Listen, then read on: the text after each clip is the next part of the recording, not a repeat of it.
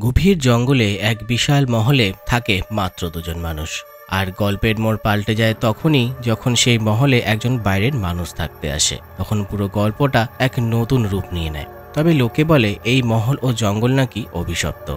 যেখানে একবার কেউ পা রাখলে আর কোনোদিন ফিরে আসে না। আর কী বা এমন হয়েছিল এই মহলে, যার জন্য আজও এই মহল অভিশপ্ত? হ্যালো বন্ধুরা, আমি প্রেম অ্যান্ড ওয়েলকাম টু সিনেইস আজ এমনই এক হরর থ্রিলার আর রহস্যে ঘেরা গল্প নিয়ে এক্সপ্লেন করব সদ্য মুক্তিপ্রাপ্ত একটি মালায়ালাম মুভি ব্রহ্মযুগম।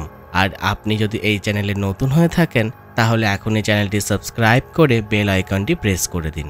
তাহলে যখনই কোনো নতুন ভিডিও আসবে, সবার প্রথমে যাতে আপনি দেখতে পান। আর ভিডিওটা ভালো লাগলে লাইক কমেন্ট ও শেয়ার করতে কিন্তু ভুলবেন না। তাহলে চলুন ভিডিওটি শুরু করি। মুভিটি শুরু হয় সতেরোশো শতকের সিন দেখিয়ে, যেখানে দক্ষিণ মালাবারের এক গভীর জঙ্গলে গভীর রাতে দুজন মানুষ বসে বাস দিয়ে আগুন জ্বালানোর চেষ্টা করছে। কিছুক্ষণ পর আগুন জ্বলতে তাদের মধ্যে একজন কিছু একটা শব্দ শুনে উঠে আকাশের দিকে তাকিয়ে কিছু একটা দেখতে থাকে। অন্য আরেকজন তাকে জিজ্ঞাসা করে, কি হয়েছে?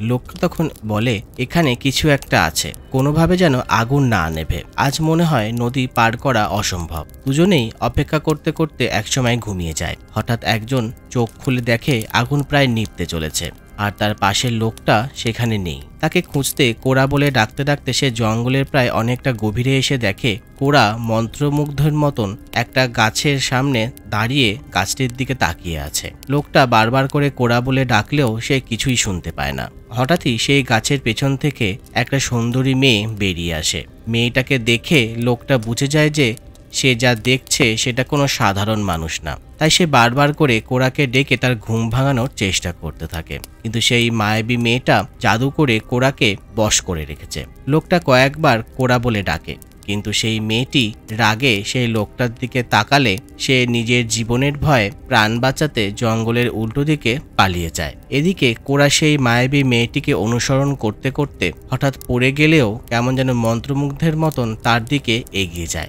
আর সেই মেয়েটি কোরা কাছে আসতেই তার ঘাড় টেনে ঘাড়ে কামড় দেয় আর কোরা ব্যথায় চিৎকার করে ওঠে। এরপর সকাল হয়ে যায়। একটা পাথরের নিচে যে লোকটা পালিয়ে গেছিল তার ঘুম ভাঙে। লোকটা ধীরে ধীরে এগোলে সামনে নদী দেখতে পায় আর সে তাড়াতাড়ি করে সেখানে গিয়ে প্রাণ ভরে জল খায়। তারপর নদী পার করার জন্য এগোতে গেলে সে দেখে নদীটা আসলে বিশাল বড় একটা ঝর্ণা। এত বড় ঝর্ণা পার করা অসম্ভব দেখে লোকটা আবার জঙ্গলের মধ্যে হাঁটতে শুরু করে। কিছু দূর হাঁটতে সে দেখে এই ঘন জঙ্গলের মধ্যে অনেক পুরনো জরাজীর্ণ একটা মহল। বেশ সাহস করে লোকটা সেই মহলের সিঁড়ি দিয়ে ভেতরে আসে। মহলের চারদিকে অনেক গাছপালায় ভরে গেছে। ভেতর দিকে আরও কিছু ঘর দেখে সেই দিকে এগোতে সেই সেখানে অনেক নারকেল দেখতে পায়। আর সে একটা নারকেল তুলে যেই না খেতে যাবে ঠিক তখনই ভেতরের ঘর থেকে একজন লোক বলে ওঠে, কে তুমি? এখানে কেন এসেছ? লোকটা বলে ওঠে, আমাকে ক্ষমা করবেন।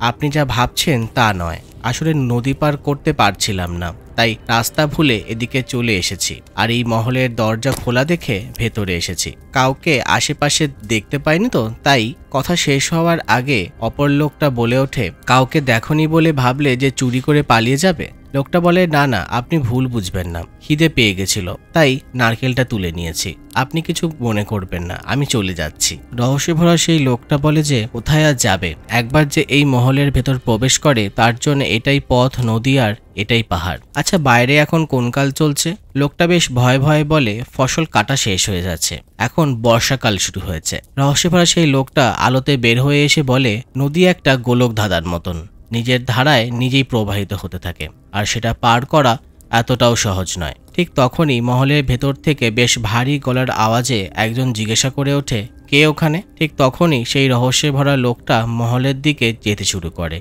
আর জঙ্গল থেকে আসা সেই লোকটিও তার পেছন পেছন গিয়ে মহলের বারান্দার সামনে দাঁড়িয়ে যায়। ভেতর থেকে সেই ভারী গলার লোকটি বেশ রেগে গিয়ে বলে, আমাদের মহলে যে প্রবেশ করেছে, তার সম্বন্ধে আমাদের জানার কি দরকার নেই? তখন রহস্যে ভরা লোকটা বলে যে, সে একজন পথচারী। আর তখনই মহলের ভেতর থেকে কাঠের খড়ম পরে আর হাতে একটা মোটা লাঠি নিয়ে ব্রাহ্মণের মতন পোশাক পরা একটি লোক বাইরে বেরিয়ে এসে বলে, অনেকদিন পর আমাদের মহলে অতিথি এসেছে, স্বাগত তোমাকে। আর এই বলে সেই লোকটি বারান্দাতে রাখা একটি চেয়ারে বসে পড়ে। আর তখন আমরা জানতে পারি যে সেই রহস্যে ভরা লোকটি আসলে সেই মহলের রাধুনী, যার নাম ভারাথান। ভারাথান তাড়াতাড়ি করে পান বানিয়ে চেয়ারে বসে থাকা সেই লোকটিকে পানটি দিয়ে দেয় আর একটু দূরে গিয়ে দাঁড়িয়ে যায়। জঙ্গল থেকে আসা লোকটা বেশ ভয় ভয় এখনও মাথা নিচু করে তাদের সামনে দাঁড়িয়ে আছে। চেয়ারে বসে থাকা জমিদারের মতো দেখতে লোকটা জঙ্গল থেকে আসা লোকটির কাছে জানতে চায় যে, তুমি কে?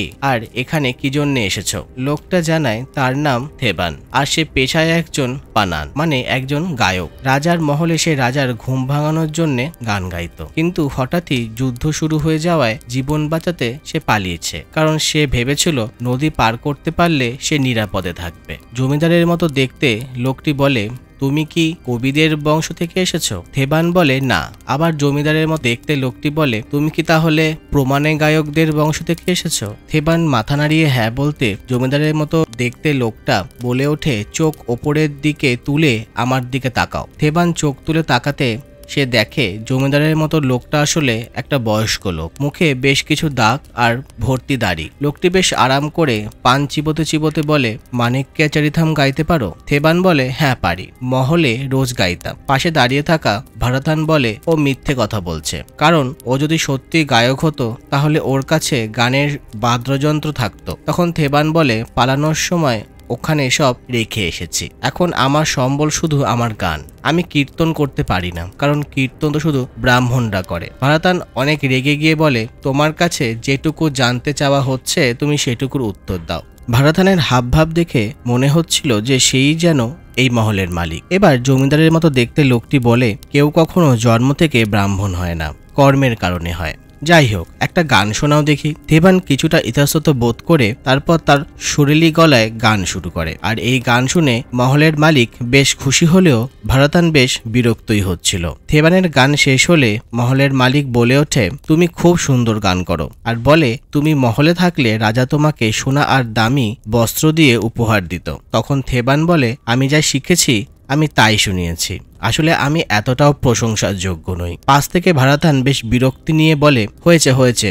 থামো তো এবার। তখনই মালিকের মতো দেখতে লোকটি ভাড়াথানকে পানের পিক ফেলার জন্য একটা বাটি আনতে বলে। ভাড়াথান যেই না কাছে যায়, তখনই সেই লোকটি তার পানের পিকটা ভাড়াথানের গায়ে ফেলে বলে, তোর মতো নিচু রাধুনি গানের বিষয় কি জানবে? যা, সর এখান থেকে। আর এই বলে সে এক ধাক্কায় ভাড়াতানকে দূরে সরিয়ে দেয়। আর থেবানকে বলে, তোমাকে আর তোমার গানকে আমার খুব পছন্দ হয়েছে। আর বলে, তুমি তাহলে আজকে এখানে খাবার খেয়ে যেও। থেবান বলে, আসলে আমি অনেক দিন ধরেই কিছু খাইনি। আপনার খুবই দয়া। তখন মালিকের মতো লোকটি বলে, আমি জানি, আর তোমাকে কোনো চিন্তা করতে হবে না। তুমি আজীবন এখানে থাকতে পারবে। আর যখন আমি বলব, আমাকে একটা গান শুনিয়ে দিও। ঠিক আছে তো? তেবান বেশ চিন্তিত হয়ে বলে, আমার পক্ষে এখানে থাকা সম্ভবই না। আমাকে তো যেতেই হবে। মালিকের মতো লোকটি তখন হঠাৎ রেগে গিয়ে বলে, সাহায্য করতে চাইলে কেউ যদি মানা করে দেয়, সেটাকে অসম্মান করা বলে। আমি কুদ্দুমান পট্টি কিছু চাইলে কারোর ক্ষমতা নেই আমাকে মানা করার। বারাতান তুমি ওকে বুঝিয়ে দাও। তখন ভারাতান বলে, তর্ক না করে যা বলছে সেটা শোনো। তখন কুদ্দমান বেশ খুশি হয়ে বলে, থাবান, তুমি ওপরে উঠে চলে আসো। থেবান ইতস্তত হয়ে বলে, আমি তো নিচু বংশের। কীভাবে মহলে আসব? কুদ্দমান হেসে বলে, আমি এসবে বিশ্বাস করি না। সংস্কৃতে বলা আছে যে, দরজাতে আসা অতিথি উঁচু জাতের হোক বা নিচু জাতের হোক, তাকে স্বাগত জানানো উচিত। থেবান এবার বেশ সাহস নিয়ে ভেতরে আসতে কুদ্দমান ভারাতানকে বলে, যে ঘরে সব ফসল রাখা আছে, তার পাশের ঘরটা ওকে দাও, আর ওর যা যা লাগবে সেটাও ওকে দাও। ভারাতান দেবানকে নিয়ে মহলের ভেতরে ঢুকে যায়। দেবান দেখে মহলের ভেতরের অবস্থা আরও খারাপ। চারিপাশ জরাজীর্ণ হয়ে আছে। ভারাতানের পেছনে যেতে যেতে মহলের আরও ভেতরে গেলে সে দেখে ভেতরের অবস্থা আরও খারাপ। আর বেশ অন্ধকার। হঠাৎই একটা বাদুর উড়ে গেলে দেবান চমকে যায়। আর সেখানটা দেখে মনে হয় যে অনেক বছর এদিকে কেউ আসেনি। তখন বারাতান বলে, এই মহলের সব ঘর দেখতে একই রকম। শুধুমাত্র এই ঘরটা অন্যরকম দেখতে। অনেকগুলো পিলার আর সিঁড়ি পার হয়ে এখানে আসতে হয়। আজ থেকে প্রায় ছ প্রজন্ম আগে পুট্টির পূর্বপুরুষরা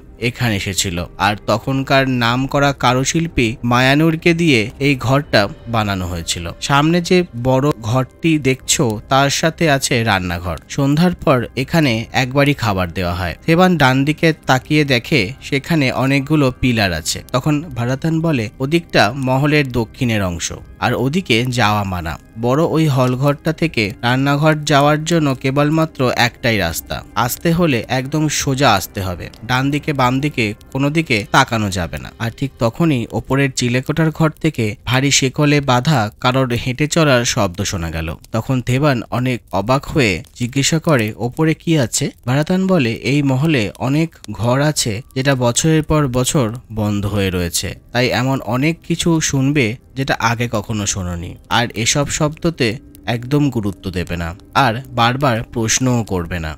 ভারাথান, থেভানকে তার জন্য একটা রুম দেয়ায় নিজের জন্য রুম পেয়ে থেভান খুশি হয়ে চারিপাশটা দেখতে থাকে। ভারাথান বলে, মনে থাকে যেন, তুমি কিন্তু আগের মতো মহলে নেই। তাই এখানে চলাফেরার সময় সতর্ক থাকবে। বুঝেছ? থেবান মাথা নাড়িয়ে হ্যাঁ বললে ভারাতান বলে, না, তুমি বোঝনি। শোনো, এখানে আগে একটা বৈদ্য থাকতো। যে ওষুধ বানানোর কাজ করত। একদিন গুপ্তধনের লোভে মহলের দক্ষিণ দিকে চলে যায় আর এরপর থেকে তাকে আর কোনোদিন খুঁজে পাওয়া যায়নি। এই জন্যে আবারও বলছি, সাবধানে থেকো। এটা বলে ভারতান এবার চলে যায়। এরপর সন্ধ্যা হয়ে যায়। কুদ্দুমানকে খুশি করতে থেবান তার সুমধুর কণ্ঠে গান শুরু করে। কিন্তু গান শেষ করে তাকাতে সে দেখে বুদ্ধমান তো অঘরে ঘুমিয়ে আছে। হঠাৎই ঘুম থেকে উঠে একটু জল খেয়ে বলে, রাগ করবেন না, একটু ঘুমিয়ে গেছিলাম। আসলে অনেক বছর হয়ে গেছে, একা আছি। মনেই নেই শেষ কবে এই মহল থেকে বের হয়েছিলাম। থেবান বলে, এই গভীর জঙ্গলে মহল দেখে ভেবেছিলাম এখানে হয়তো অনেক মানুষ থাকবে। আশা করি আমার গান আপনার ভালো লেগেছে। কিন্তু কুদ্দমান তার কথা না শুনে আবার গভীর ঘুমে মগ্ন হয়ে যায়। আর ঠিক তখনই ভারাতান খাবার এনে রাখলে কুদ্দমান থেবানকে খেতে বলে। আর উদার্ত থেবান তাড়াতাড়ি খেতে বসে পড়ে। তৃপ্তি করে সবটুকু খাবার শেষ করে বলে, ভগবানের কি অসীম দয়া। আমাকে খাবার দিয়েছে, আশ্রয় দিয়েছে। ভগবানের কাছে আমি চিরকৃতজ্ঞ থাকব। এই কথাটা শোনা মাত্র কুদ্দুমান রেগে বলে, সব তো আমিই দিলাম। তাহলে ভগবানের কাছে কেন কৃতজ্ঞ প্রকাশ করছ? তখন থেবান বলে, আসলে আমি বলতে চাইছি, ভগবানের দয়াতেই আমি এখানে এসেছি। না হলে হয়তো এখন কোনো জঙ্গলে কোনো একটা প্রাণীর শিকার হতাম। কুদ্দুমান রেগে বলে, ভাগ্য তোমাকে এখানে এনেছে, ভগবান না। থেবান বলে, আমার কথা খারাপ লাগলে আমাকে ক্ষমা করবেন। কুদ্দুমানকে খুশি করতে আর একটা গান গাইতে চাইলে কুদ্দুমান রেগে মানা করে দেয়। এরপর গভীর রাতে ভারাতান প্রদীপ হাতে মহলের কুয়োর সামনে থেকে হাতে কাপড়ে ঢাকা কিছু একটা নিয়ে একটা রুমে আসে। আর আশেপাশে ভালো করে দেখে সিঁড়ির ঘরের দরজা খুলে তারপর সিঁড়ি বেয়ে ওপরে উঠে যায়। থেবান রাতে মশাল হাতে কিছু একটা করতে মহলের পেছন দিকে আসে। আর মাটিতে মশাল রেখে যেই বসতে যাবে, হঠাৎই সে কিছু একটা দেখে থমকে যায়। মশালটা একটু এগিয়ে নিয়ে গিয়ে দেখে একটা না দুটো না, সারি সারি কপড়। এই দৃশ্য দেখে সে ভয় মশাল হাতে দৌড়ে কুয়োর সামনে এসে পা ধুয়ে মহলে ঢুকে পড়ে। রান্নাঘরে জল খেতে আসলে আবারও ওপরে সেই শব্দ শুনতে পায় আর সে ধীরে ধীরে সেই শব্দ অনুসরণ করে এগিয়ে যেতে থাকে। হঠাৎই লক্ষ্য করে সিঁড়ির ঘরের দরজা খোলা। তাই বেশ সাহস নিয়ে সে এবার ওপরে ওঠে। চিলে কোঠার দরজা খুলতে না পারার জন্য হাতের প্রদীপটা রেখে দরজা খুলতে যায় আর তখনই সিঁড়ি থেকে প্রদীপটা পড়ে নিভে যায়। থেবান এবার জোরে ধাক্কা দিতে সেই দরজাটা খুলে যায় আর সে ধীরে ধীরে চিলে কোঠায় ঢুকে এদিক ওদিক দেখতে থাকে।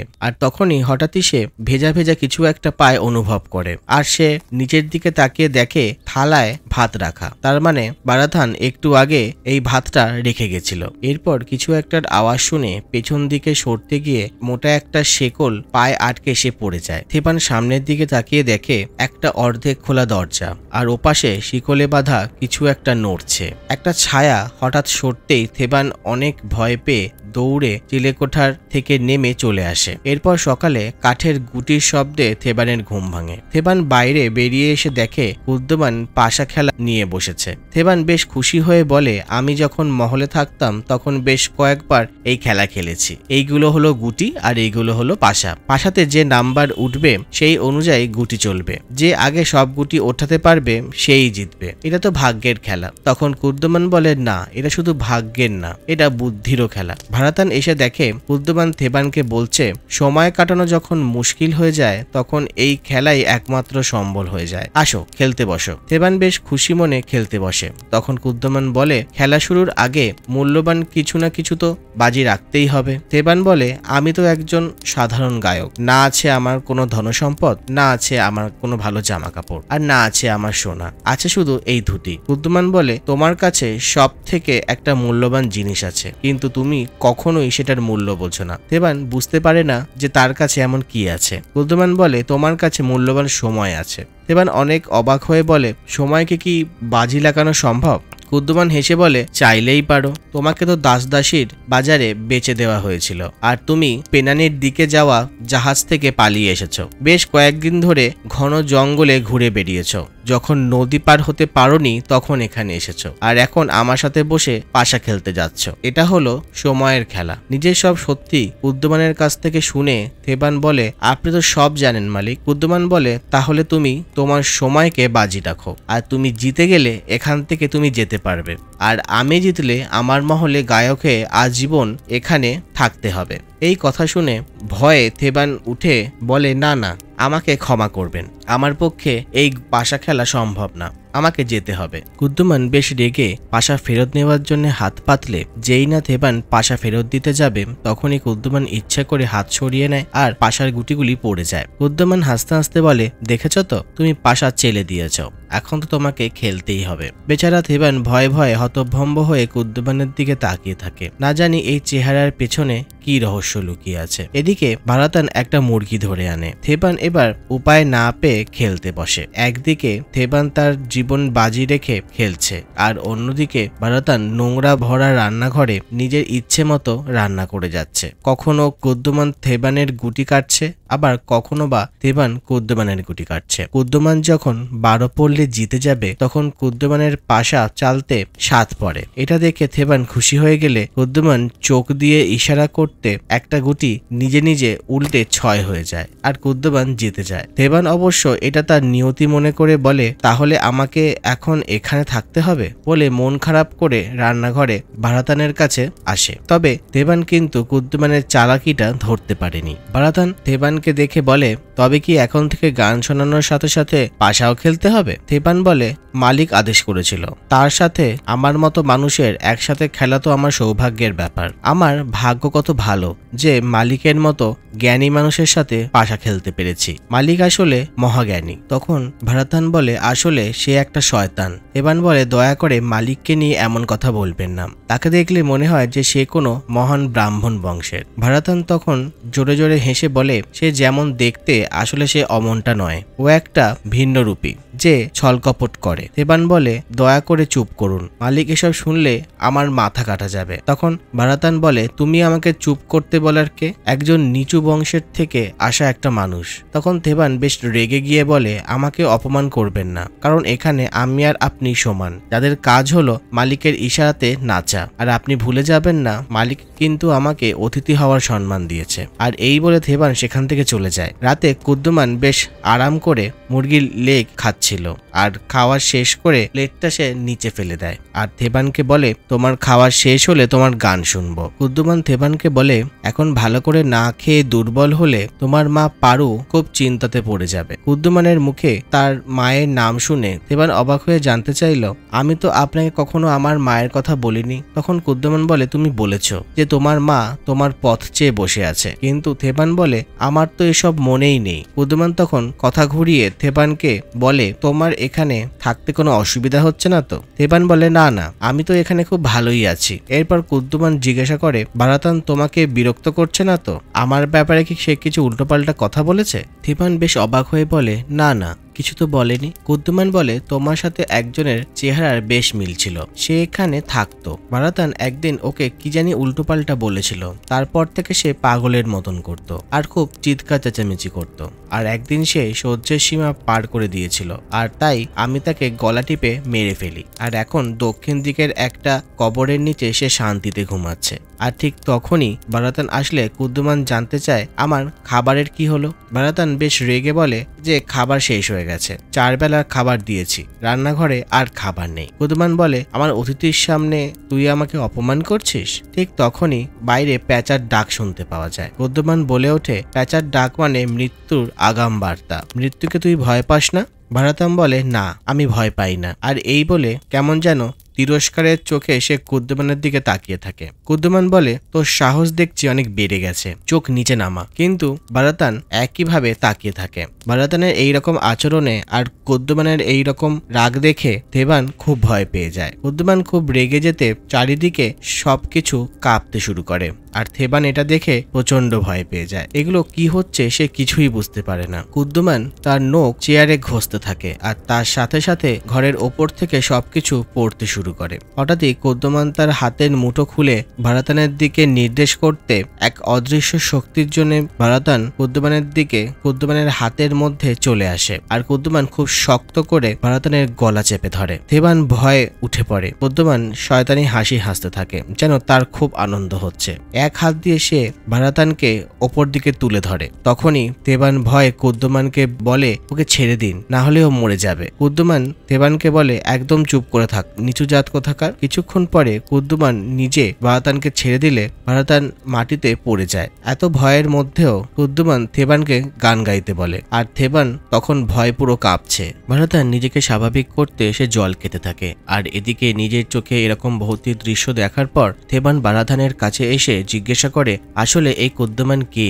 আমার সম্বন্ধে সে এত কিছু জানলো কি করে? আমি জাদুকরদের ব্যাপারে শুনেছি, যারা কারোর কোনো ক্ষতি করতে ভয় পায় না। কুদ্দুমান কি সেরকমই একজন? আমি কোথায় ফেসে গেছি? আমি এইসবের উত্তর জানতে চাই। ভারাতান বলে, তুমি যা শুনেছ, সেটা সত্যি। কুদ্দমান পট্টি আগে সব কাজের লোক আর একজন নর্তককে মেরে দিয়েছিল। আর আমি তাদের সবাইকে মহলের দক্ষিণ দিকে কবর দিয়েছিলাম। কুদ্দুমান পট্টির ব্যাপারে জানতে হলে আগে মহলের ইতিহাস জানতে হবে। জানতে হবে মহান জাদুকর চুদ্দাল্লান পট্টির ব্যাপারে। আজ থেকে অনেক বছর আগে আথার্ভা ভেদা বেদের জ্ঞানে চুদ্দাল্লানপট্টি কঠিন তপস্যা করে দেবী পাহাড়িকে ডাকে। চুদ্দাল্লানের তপস্যাতে খুশি হয়ে দেবী তাকে একটা জাদুকরী বক্স দেয়, যার মধ্যে ছিল একটা অপদেবতা। দেবী বলেছিল, এই অপদেবতা তোমার সব ইচ্ছে পূরণ করবে। আর সেই দেবী সেটা বলে তারপর অদৃশ্য হয়ে যায়। কিন্তু ওই চুদ্রল্যান পট্টি ওই অপদেবতাকে বন্দি করে আর তার উপর অত্যাচার করতে থাকে। একদিন ওই অপদেবতাকে অনেক অত্যাচারের পর চুদ্রল্যান মাতাল অবস্থায় অপদেবতার সামনে পড়ে থাকলে অপদেবতা বলে, আমার চোখের দিকে তাকালে তুমি নরক দেখতে পাবে। চুদ্দল্লন অপদেবতার দিকে তাকাতে অপদেবতা চুদ্দলনের আত্মাকে টেনে চুদ্দল্লানকে মেরে ফেলে। অপরদিকে ওই অপদেবতা চুদ্দলানের হাত থেকে মুক্তি পেয়ে ওই মহলের ওপর কবজা করে নেয় আর চুদলানের পরিবারের সবাইকে নির্মমভাবে মেরে ফেলে। অনেক শক্তিশালী তান্ত্রিক এই অপদেবতাকে শেষ করার জন্য আসে আর সবাই ব্যর্থ হয়ে যায় আর সেই অপদেবতা সবার আত্মাটাকে টেনে নেয়। অবশেষে এই বংশের শেষ বংশধর কুদ্দমান পট্টি এই অপদেবতাকে শেষ করতে আসে আর তার দিকে একটা শেকল ছুড়ে মারে আর অপদেবতা মহল কাঁপিয়ে চিৎকার করে ওঠে। থেবান বলে, তুমি ঠিকই বলেছ। আমি চিলেকোঠাতে অপদেবতাকে দেখেছি। মারাথান বলে, তুমি যদি রাতে এইভাবে মহলে ঘুরে বেড়াও, তাহলে তোমার জন্য আমাকেও একটা কবর খুঁড়তে হবে। রাতে কুদ্দমান একটা বড় কলসি থেকে মৃতদেহ পোড়ানো ছাই সারা গায়ে মাখতে থাকে। ইয়াকশি মানে জঙ্গলের সেই আত্মাটা ধীরে ধীরে মহলে ঢুকতে থাকে। তার মানে কুদ্দমান ইয়াকশিকে দিয়ে তার পরবর্তী শিকারদেরকে মহলের মধ্যে নিয়ে আসে। ইয়াকশিকে মহলে দেখে থেবান তার পেছন পেছন যেতে থাকে। ইয়াকশি ধীরে ধীরে কুদ্দমানের কাছে গিয়ে কুদ্দমানের সেই ছাই মাখতে থাকে। ইয়াকশি হঠাৎ করে থেবানের দিকে তাকালে থেবান ভয় পেয়ে দৌড়ে পালিয়ে তার ঘরের দরজাটা বন্ধ করে দেয়। সকালে ঘুম ভাঙলে দরজা আড়াল থেকে থেবান দেখে যে কুদ্দমান বারান্দায় হাঁটাহাঁটি করছে। কুদ্দমান কিছু একটা ভেবে পেছনে ফেরার আগেই থেবান সেখান থেকে চলে যায় আর ভাড়াতানের কাছে গিয়ে বলে, আমি চলে যাচ্ছি আর আপনারও এখান থেকে চলে যাওয়া উচিত। এটা একটা অভিশপ্ত জায়গা। আর আপনি কি সেটা বুঝতে পারছেন না? চলুন এখান থেকে। কিন্তু ভাড়াতান নিজের মতো কাঠ কেটে যাচ্ছিল। থেবান বারবার অনুরোধ করলে ভাড়াতান বলে, "ও, আমাকে আমার কাজ করতে দাও আর এখান থেকে তুমি চলে যাও। থেবান তাকে অনেকবার বোঝানোর চেষ্টা করতে থাকে কিন্তু কোনো উত্তর না পেয়ে বলে, আপনি একটা পাগল আর আপনি এখানে থাকতে থাকতে মরে যাবেন। এই বলে থেবান ঘরে গিয়ে জামা কাপড় গুছিয়ে বাইরে যেতে গেলে একটা লাঠির শব্দে সে দাঁড়িয়ে পড়ে। থেবান দরজার দিকে তাকিয়ে থাকে, কিন্তু সে কাউকে দেখতে পায় না। হঠাৎ চোখ বন্ধ করে নিচের দিকে তাকিয়ে দেখে বুদ্ধমান তার সামনে দাঁড়িয়ে আছে। বুদ্ধমান জানতে চায়, কোথায় যাচ্ছ? তখন থেবান বলে আমার মা একা আছে, আমাকে যেতে দিন। কুদ্দমান বলে, তোমার ইচ্ছা হলে তুমি যেতে পারো। কে তোমাকে বারণ করেছে? কিন্তু এই ভারী বৃষ্টিতে তুমি কি করে যাবে? থেবান অবাক হয়ে বলে, বৃষ্টি? আর সত্যি সত্যি বাইরে কালো মেঘ করে বৃষ্টি পড়া শুরু হয়ে যায়। রাত হয়ে গেলেও কিন্তু এই বৃষ্টি কমে না। খেতে বসে থেবান চিন্তা করতে থাকে, এখন সে কীভাবে এখান থেকে বেরোবে? তখন কুদ্দমান বলে, এই বৃষ্টি এত তাড়াতাড়ি কমবে না। হতে পারে এক সপ্তাহ বা এক মাস বা হয়তো এক বছর। শেষবার যখন এইরকম বৃষ্টি হয়েছিল তখন নর্তক এখানে ছিল। প্রায় তিন বছর ধরে বৃষ্টি হয়েছিল। কি দিন, কি রাত কিছুই বোঝা যাচ্ছিল না। নর্তক তখন তার স্মৃতিশক্তি হারিয়ে ফেলে আর কেমন যেন বিড়বিড় করা শুরু করেছিল। থেবান জানতে চায়, এই জন্যে কি আপনি তাকে মেরে ফেলেছেন? কুদ্দমান বলে, না, নর্তককে নাচ জানতে হবে আর গায়ককে গান। আর না হলে তারা পৃথিবীর জন্য একটা বড় বোঝা। থেবান বলে, গান একটা তপস্যা। এটা বোঝার ক্ষমতা আপনার নেই। বুদ্ধমান শয়তানি হাসি হেসে বলে, শোনো, এটা হলো ব্রহ্মযুগ, তার মানে পাগলামির যুগ। আসলে এই যুগে সব মানুষ উন্মাদ আর সবসময় নৃশংসতায় চলে। আর এখানে ঠাকুর পুজো করে কোনো ফল পাওয়া যায় না। এই যুগে ভক্তি খোঁজা বোকামি। দেবী যখন থেকে অদৃশ্য হয়ে গেছেন, তখন থেকে এই পাগলামির যুগ শুরু হয়েছে। যতই ভক্তি ভরে ডাকো না কেন, সে শুনবে না। দেবান বলে, আমাকে যেতে হবে, বৃষ্টি কমলে আমি চলে যাব। এই কথা শুনে কুদ্দুমন বলে ভেবেছিলাম তুমি হয়তো বুদ্ধিমান, কিন্তু না, তোমাদের সবার মধ্যে একটা প্রবলেম আছে, সেটা হলো ভয়। তোমরা সবাই খুব ভয় পাও। থেবান কিছু একটা চিন্তা করে বলে যে, আমি ভয়ের জন্যে কিছু চিন্তা না করে সব বলে ফেলেছি। আমাকে ক্ষমা করবেন। আমি গান গাইবো, আর আপনার কথাতেই গান গাইব। তখন কুদ্দুমান বলে, না, তোমার এখানে থাকাটা আমার ঠিক ভালো লাগছে না। তোমাকে গান গাইতে হবে না। আর এই বলে সে প্রদীপের আলোটা নিভিয়ে দেয়। থেবান মন খারাপ করে তার ঘরে শুয়েছিল, আর তখনই হঠাৎ বারাতান থেবানকে অন্য একটা ঘরে নিয়ে যায়, আর মশালটা থেবানের হাতে দিয়ে একটা হাড়ি থেকে কিছুটা পচা ভাত ফেলে দেয়, আর তারপর বারাতান থেবানকে মদ খাওয়ার জন্য দেয়। মদ খেয়ে থেবান তার নিজের ব্যাপারে সবকিছু বলতে শুরু করে। থেবান বলে, তার বাড়ি নদীর পাশে একটা পাহাড়ের ওপর। এখন ফসল কাটার সময়। নিজেদের জন্য কিছুটা রেখে তারা বাকি সব ফসল বিক্রি করে দেয়। তাদের বাগানে অনেক সবজি আছে। বাড়িতে তার মা এখন একা আছে। বেচারি মা অনেক কষ্ট করে। বাদিকের কানে হাত দিয়ে বলে, এই কানের দুলটা মা আমাকে দিয়েছে। বেচারি জানে না আমি কোথায় আছি থেবান বারাতানের কাছে জানতে চায়, আপনার ফ্যামিলিতে কে কে আছে তখন বারাতান বলে, আমার কেউ নেই। আমি একা থেবান তাকে মদ খেতে দিলে, বারাতান বলে, এসব আমি খাই না তখন থেবান বলে, এটা খেলে সব দুঃখ ভুলে থাকা যায় তখন ভারাতান বলে, আমি এই ভুল করব না থেবান বলে, মনে হয় আমাদের জন্ম নেওয়াই আসলে একটা বড় ভুল। ভাগ্য যদি এরকম একটা অভিশপ্ত মহলে নিয়ে এসে ফেলে, তাহলে মানুষ আর কি বা ভাববে? রাতে গভীর ঘুমের মধ্যে শিকলের শব্দ পেয়ে থেবান উঠে দেখে তার সামনে চিলেকোঠার সেই দরজা আর মোটা একটা শেকল। শেকলের মাথার দিকে তাকালে দেখে কেমন অদ্ভুত দেখতে কি যেন একটা তার দিকে ধেয়ে আসছে। হয়তো এটা সেই অপদেবতাটা। এমন স্বপ্ন দেখে থেবানের ঘুম ভেঙে যায়। এবার সকাল হয়ে গেছে, কিন্তু বৃষ্টি পড়েই চলছে। থেবান রান্নাঘরে গিয়ে দেখে ভারাথান সেখানে নেই। ভারাথানকে বাইরে খুঁজতে গিয়ে দেখে সে বৃষ্টিতে কবরের মতো মাটি খুঁড়ছে। থেবান ভারাতানকে কবর খুঁড়ছে কেন জানতে চাইলে ভারাতান তেবানের দিকে এমনভাবে তাকিয়ে থাকে যে থেবান কিছু একটা বুঝতে পারে। আর সে ভয় সেখান থেকে পালাতে শুরু করে। কুদ্দুমান দরজার পেছন থেকে এই দৃশ্য দেখতে পায়। থেবান দৌড়ে মহলের বাইরে যেতে গেলে হঠাৎ করে তার খুব পেটে ব্যথা শুরু হয়ে যায়। থেবান আর দৌড়াতে পারছিল না। আর মাটিতে সে পড়ে গেল। তবুও সে ঘষে ঘষে এগিয়ে যাওয়ার চেষ্টা করতে থাকে। কিন্তু ব্যথা এতটাই বেড়ে যাচ্ছিল যে তার মুখ থেকে রক্ত বের হতে শুরু করে। অনেক চেষ্টা করেও সে যখন পারছিল না, তখন সে অনেক কষ্ট করে গড়িয়ে গড়িয়ে মহলের বারান্দায় ফিরে আসে। বারান্দাতে কুদ্দমান দাঁড়িয়ে আছে আর বলে, আমার অনুমতি না নিয়ে কীভাবে তুমি চলে যাচ্ছিলে? বলে গেলে হয়তো তোমার এরকম রক্ত বমি হতো না। থেবান বলে, আমার ভুল হয়ে গেছে। দয়া করে আমাকে যেতে দিন। কুদ্দমান বলে, এইভাবে কি কেউ অনুমতি চায় নাকি? ভালো করে অনুরোধ করো। থেবান অনেক কষ্ট করে তার হাত বাড়িয়ে কুদ্দুমানের পায়ে হাত দিয়ে বলে, আমাকে যাওয়ার অনুমতি দিন, মালিক। কুদ্দুমান এক শয়তানি হাসি হেসে বলে, তোমার অনুমতি বাতিল করা হলো। সেই মুহূর্তে থেবানের মনে হতে থাকে, সে তার মায়ের কোলে মাথা রেখে শুয়ে আছে, আর তার মা তার মাথায় হাত বুলিয়ে দিচ্ছে। হঠাৎই কেউ থেবানের মুখের ওপর এক বালতি জল ঢেলে দেয়। থেবান উঠে দেখে, ভারাতান তার মুখে জল ঢেলেছে। ভারাতান থেবানকে জল খেতে দেয় আর জল খেয়ে থেবান বলে, আমি কিছুতেই এখান থেকে পালিয়ে যেতে পারলাম না। ভারাতান বলে, তুমি একা না। এখানে একবার যে এসেছে, সে আর এই মহলের দরজা থেকে কোনোদিন বাইরে যেতে পারেনি। এটা একটা ফাঁদ। যতই বাইরে যাওয়ার চেষ্টা করতে থাকবে, ততই ফেসে যাবে। ভারাতান একরকম ভেষজ ওষুধ বাড়তে বাড়তে বলে, এই মহলে এমনই মায়াবী ফাঁদ পাতা হয়েছে, যার জন্যে তুমি আস্তে আস্তে সবকিছু ভুলে যাবে থেবান বলে ওঠে, আমি তো কিছুই বুঝে উঠতে পারছি না ভারাতান থেবানকে সেই ওষুধটা খেতে দিয়ে বলে, এটা খেয়ে নাও, দেখবে তোমার ব্যথা কমে যাবে।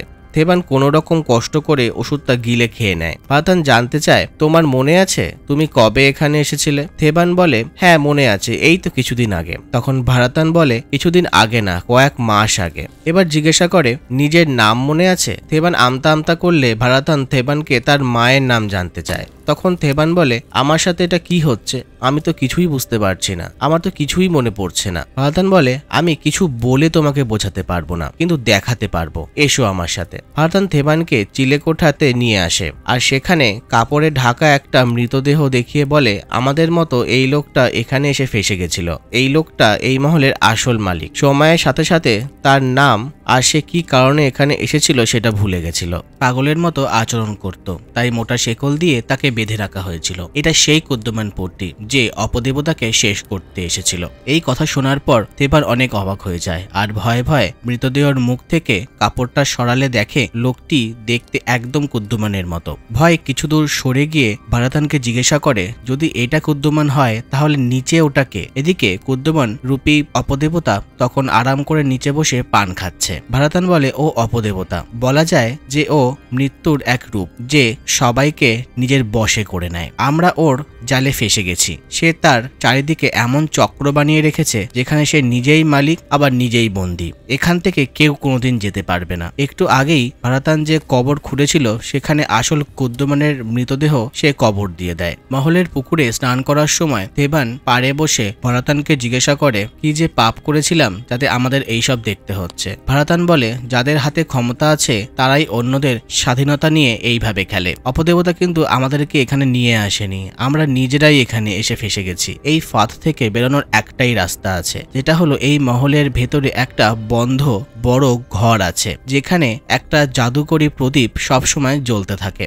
সেই প্রদীপটা নেভাতে হবে। থেবান জিজ্ঞাসা করে, সেই ঘরটা কোথায়? ভারাতান বলে, বড় ঘরটার নিচে একটা ঘর আছে, যেখানে চাল, গম, সব শস্য রাখা থাকে। সেই ভান্ডারের নিচে একটা লোকানো দরজা আছে, সেই দরজা দিয়ে যেতে হবে। ঘরের বাইরে একটা বড় তালা মারা আছে, সেখান থেকে দেখলে দেখা যাবে একটা প্রদীপ সবসময় জ্বলছে, আর সেই প্রদীপটাকেই নেভাতে হবে। কিন্তু অপদেবতার নজর সবসময় ওই প্রদীপের দিকে থাকে। তার একটা উদ্দেশ্য হলো, তার অমরত্বে আর তার শক্তির পথে যে বাধা হবে, তাকে বাধা দেওয়া। থেবান জিজ্ঞাসা করে, ওই তালার চাবি কোথায় আছে? ভারাতান বলে, আমি এখানে সব জায়গায় খুঁজে দেখেছি। হয়তো হারিয়ে গেছে, আর না হলে হয়তো কোনো মৃতদেহের সাথে কবরে চলে গেছে। থেবান বলে, অপদেবতা যখন ফাঁদ পেতেছে, তখন চাবি নিশ্চয়ই আছে। এখানে সেটা কোথায় আছে, অপদেবতা নিশ্চয়ই জানে, আর আমাদের জানার একটাই উপায় আছে। পরের দিন সকালে পাশার শব্দে অপদেবতা বাইরে বেরিয়ে এসে দেখে, থেবান পাশা সাজিয়ে বসে আছে। থেবান অপদেবতাকে পাশার গুটি এগিয়ে খেলার জন্য অনুরোধ করে। তখন অপদেবতা থেবানকে বলে, বাজি রাখার জন্য তোমার কাছে আর কিছুই নেই। থেবান বলে ওঠে, আছে, একটা চাবি। আর অপদেবতা সঙ্গে সঙ্গে তার কোমরে হাত দিয়ে দেখে যে তার চাবিটা ঠিক আছে কিনা। আর থেবান বুঝে যায়, চাবিটা তার কাছেই থাকে। চাবি ঠিক জায়গাতে আছে দেখে অপদেবতা থেবানকে জিজ্ঞাসা করে, কিসের চাবি? আর থেবান বলে, আমার ভাগ্যের চাবি, যেটা আপনার কাছে আছে। অপদেবতা একটু ভয় পেয়ে জিজ্ঞাসা করে, তুমি কি করে জানলে? তখন থেবান কথা ঘুরিয়ে বলে, আমার স্বাধীনতার চাবি, যেটা আপনার হাতে আছে। আমি যদি এই খেলাতে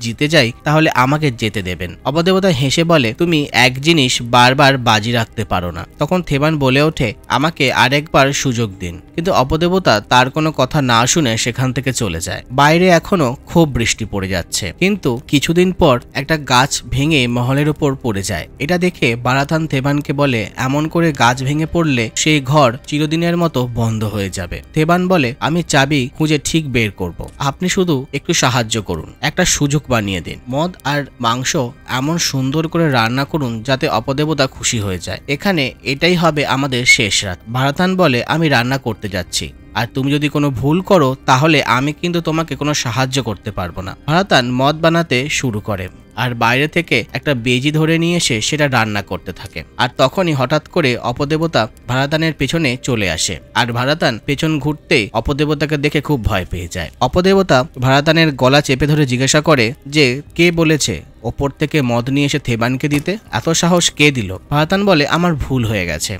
আমাকে ক্ষমা করে দিন। অপদেবতা বলে, ওর এখানে আসার জন্যে আমার কাজের অসুবিধা হচ্ছে, যেটা আমি একদম সহ্য করব না। তাই সময় নষ্ট না করে ওর জন্যে কবর প্রস্তুত করো। ভারাতান হ্যাঁ বলে রাজি হয়ে যায়। অপদেবতা ভারাতানকে ছেড়ে দিয়ে চলে যায়। বাইরে এখনও খুব বৃষ্টি পড়ছে। থেবান অপদেবতাকে গান শোনাচ্ছে আর ভারাতান বসে খাবার খাচ্ছে। আর খাবারের শেষে সে মুখে পান দিয়ে দেয়। গান শেষ হয়ে গেলে থেবান অপদেবতাকে মাথা নিচু করে বলে, আপনি আমাকে এখানে শুধুমাত্র গান গাইতে ডাকেননি। আর অপদেবতা মাথা নাড়িয়ে বলে, না। থেবান বলে, আমি কষ্ট সহ্য করতে না পেরে যাতে মরে যাই, আপনি সেটাই চান। অপদেবতা শয়তানির হাসি এসে বলে, মৃত্যু তো একটা আশীর্বাদ। কোনো কিছুই এটাকে আটকাতে পারবে না। থেবান বলে, আমি আপনার আসল চেহারা দেখতে চাই। অপদেবতা বলে, এখনও সেই সময়টা আসেনি। এই বলে জগ থেকে সব জল খেয়ে নেয়, আর থেবানকে আরও জল আনতে বলে। থেবান জগটা ধরতে গেলে অপদেবতা সেটা শক্ত করে ধরে বলে, সবকিছুই আগে থেকে ঠিক করা আছে।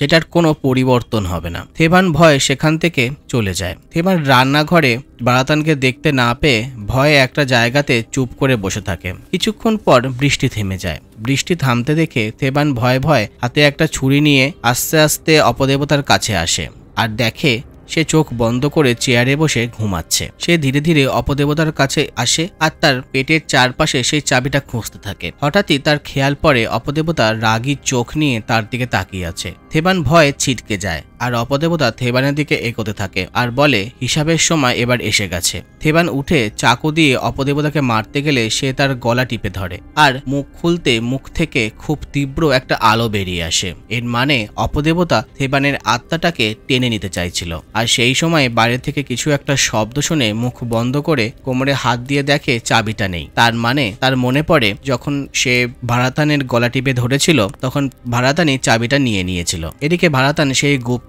ঘরে গিয়ে প্রদীপটা নিভিয়ে দেয়। আর সঙ্গে সঙ্গে মহলের সব প্রদীপ নিজে নিজেই নিভে যায়। প্রদীপ নিভে গেলে অপদেবতার রাগে খুব বিকটভাবে চিৎকার করে ওঠে। এদিকে থেবান অন্ধকারে হাতে ছুরি নিয়ে এগিয়ে যেতে থাকে। কিছু দূর গিয়ে একটা ঘরে সে এসে পড়ে। ঘরের ভেতরে ঢুকে সে দেখে সেখানে অনেক পশু পাখির কঙ্কাল আর বেশ কয়েকটা অদ্ভুত মূর্তি রাখা। থেবান খেয়াল করে পাশে একটা বাক্স রাখা আছে। পেছন থেকে ভারাতান এসে বলে, এটাই সেই দেবী ভাড়াহির দেওয়া বাক্স।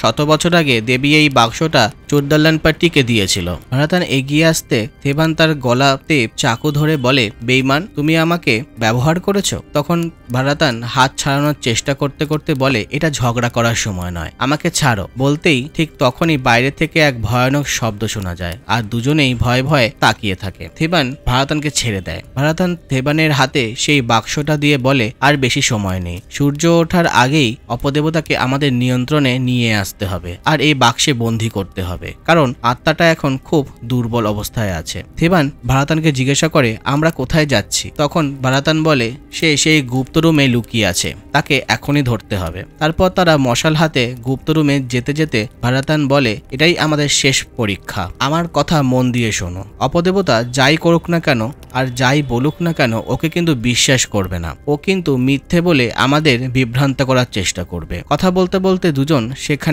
আসে, যেখানে কিছুক্ষণ আগে বারাতান প্রদীপটা নিভিয়ে দিয়ে গিয়েছিল। বারাতান রুমে ঢুকতে ঢুকতে বলে, ও কিন্তু তোমাকে মানসিকভাবে আঘাত করতে পারে। বেঁচে থাকতে গেলে কিন্তু আমাদের সাবধান থাকতে হবে। কিছুক্ষণ খোঁজার পর থেবান বলে, ও কোথায় আছে? তখন ভারাতান বলে, ওই যে, পিলারের পেছনে লুকিয়ে আছে। এরপর জোর গলায় ভারাতান বলে, লুকিয়ে না থেকে বেরিয়ে এসো। তখন কুদ্দমানপট্টি রূপী ওই অপদেবতা বেরিয়ে আস্তে আস্তে বলে, আমাকে হুকুম করার, তুমি কে? ভারাতান বলে তোমাকে মেরে প্রতিশোধ নিতে চাই। অপদেবতা বলে, নিচু বংশের একটা লোক আমাকে শেষ করবে? ভারাতান বলে, আমি নিচু বংশের না, আমার শরীরে কুদ্দমান পট্টির রক্ত বইছে। এটা শুনে থেবানো বেশ অবাক হয়ে যায়, আর অপদেবতা বলে, এটা অসম্ভব। আমি ওই বংশের সবাইকে শেষ করে দিয়েছি, এমনকি মায়ের পেটে থাকা বাচ্চাকেও মেরে ফেলেছিলাম। আর কিছুদিন আগেই কুদ্দমান পট্টির মৃতদেহ তুমি নিজেই কবর দিয়েছ। ভারাতান বলে, আমি তার ছেলে। আমি কুদ্দমান পট্টির দাসীর পেটে জন্মানো কুদ্দমান পট্টির একমাত্র ছেলে। ফেলে তোমার মতো চালাকও এটার ব্যাপারে জানতে পারেনি। তোমার বলা কথাগুলো মনে আছে? যে জন্ম থেকে কেউ ব্রাহ্মণ হয় না, নিজের কর্ম দিয়ে হয়। এই মহলকে আমি তোমার হাত থেকে উদ্ধার করতে এসেছি।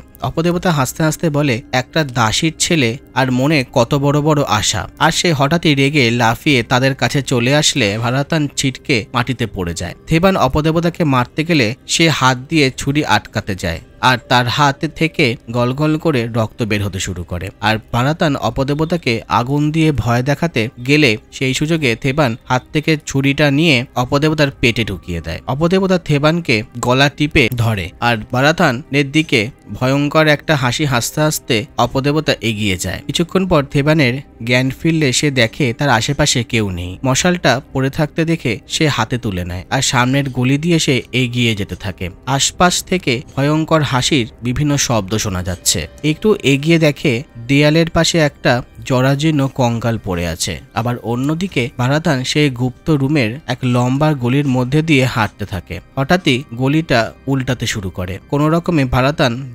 দেয়ালকে আঁকড়ে ধরে বেঁচে থাকার চেষ্টা করতে থাকে। গুলিটা অনবরত ঘুরতে থাকে আর তার সাথে সাথে ভারাতানও ঘুরতে থাকে। এদিকে থেপান হাঁটতে হাঁটতে দেখে সামনে একটা দেয়াল আর যাওয়ার জায়গা নেই। সে দেওয়ালে ধাক্কা দিতে খুব জোরে জোরে শব্দ শুরু হয়ে যায়। মনে হয় যেন এখনই সবকিছু ভেঙে পড়বে। থেবান পেছনের দিকে সরে আসতে গেলে দেখে সেখানেও রাস্তাটা একটা দেওয়াল উঠে বন্ধ হয়ে গেছে আর ছাদটাও অনেকটা নিচে নেমে আসছে। থেবান কোনোভাবে সেখানে বসে থাকে। চারদিকের দেওয়াল থেবানের দিকে সরে আসছে, যেন তাকে এখনই পিষে দেবে। থেবান প্রচণ্ড ভয় জোরে জোরে চিৎকার করতে থাকে। আর অন্যদিকে গলিটা ঘুরতে থাকায় দেওয়ালে ধাক্কা খেতে খেতে বারাতানের অবস্থা খুব খারাপ হয়ে যায়। একসময় সে পড়ে গিয়ে তার মাথা ফেটে সে অজ্ঞান হয়ে যায়। জ্ঞান ফিরতে বারাতান দেখে যে সে সেই প্রদীপের কাছে পড়ে আছে। উঠে দাঁড়িয়ে নিজে নিজের হাত কেটে মন্ত্র বলতে শুরু করে। এদিকে থেবান মশাল দিয়ে দেয়ালটা ভেঙে কোনো রকমে বাইরে বেরিয়ে আসে। বারাতান তার পেছন দিকে অপদেবতাকে অনুভব করে। সে দেখে পেছন দিকে মুখ করে অপদেবতা মাথা নিচু করে কেঁদে যাচ্ছে। বারাতান ছুরি নিয়ে অপদেবতার দিকে এগিয়ে যেতে গেলে অপদেবতা হাত দেখিয়ে তাকে থামতে বলে। আর সে উঠে দাঁড়িয়ে বারাতানের দিকে তাকিয়ে বলে, বাবার ভালোবাসা ছাড়া গরিব দাসীর ছেলে কীভাবে বড় হয়েছে সেই কষ্টটা আমি বুঝতে পারছি। কিন্তু যা কিছু হারিয়ে গেছে আমি তো সেটা আর ফেরত দিতে পারব না। আমি হাত জোর করে তোমার কাছে ক্ষমা চাইছি। হাত বাড়িয়ে বলে, এসো। তোমার বাবার কাছে এসো। ঠিক তখনই সেখানে থেবান চলে আসে। আর ভারাতান অপদেবতাকে বলে, তুমি কি ভাবলে? আমি কি তোমার ফাঁদে পা দেব? আমি খুব ভালো করে জানি তুমি কে। অপদেবতা সেটা শুনে আবার হাসতে শুরু করে। থেবান ভারাতানের পেছনে এসে দাঁড়ালে ভারাতান থেবানকে বলে, ভারাহি দেবী, সেই বাক্সটা নিয়ে এসো। থেবান মাটি থেকে সেই বাক্সটা তুললে ভারাতান সেটাকে খুলতে বলে। কিন্তু অপদেবতা থেবানকে ভয় দেখায় আর বলে যে, আমাকে বাক্সবন্দি করার পর ভারাতান তোমাকে মেরে ফেলবে। ফেলবে। দেবান বেশ ভয় পেয়ে যায়। তখন পারাতান বলে, ওর কথাতে কিন্তু তুমি কান দিও না। তাড়াতাড়ি করে বাক্সটা খোলো। ঠিক তখনই অপদেবতা লাফ মেরে পারাতানকে মাটিতে ফেলে তার গলা টিপে ধরে। দেবান উপায় না পেলে পেছন দিক থেকে অপদেবতার ঘাড়ে ছুরি বসিয়ে দেয় আর সাথে সাথে অপদেবতা চিৎকার করে ওঠে আর তার মুখ থেকে গলগল করে রক্ত বেরোতে শুরু করে। এই সুযোগে ভারাতান উঠে পড়ে আর অন্যদিকে অপদেবতা উঠে বসে ভয়ঙ্কর চিৎকার করতে করতে তার ঘাট থেকে ছুরিটা বের করে নেয়। ভারাতান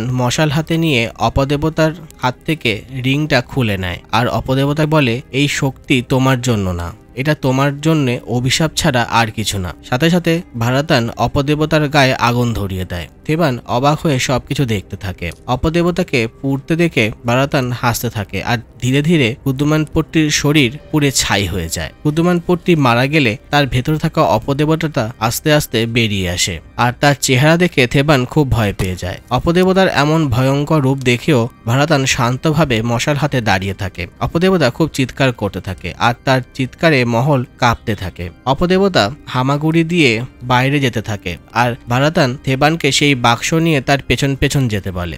বেশ কিছু দূর যাওয়ার পরে অপদেবতা একটা জায়গায় লুকিয়ে পড়ে। ভারতান অপদেবতার দিকে তাকিয়ে বলে, বাইরে বেরিয়ে এসো, কারণ আজ থেকে আমি তোমার মালিক। ভারাতানের মুখে এরকম কথা শুনে থেবন ভয়ে তার দিকে তাকিয়ে থাকে। ভারাতান হাতে সেই রিংটা নিয়ে হাসতে থাকে আর অপদেবতার আড়াল থেকে ভারাতানের হাতে সেই রিংটা দেখে আস্তে আস্তে বাইরে বেরিয়ে আসে। ভারাতান এই রিংটা পড়তে গেলে থেবান তাকে বারণ করে আর বলে যে নিজের মধ্যে এই শক্তি নিয়ে আসবে, সে কিন্তু শেষ হয়ে যাবে।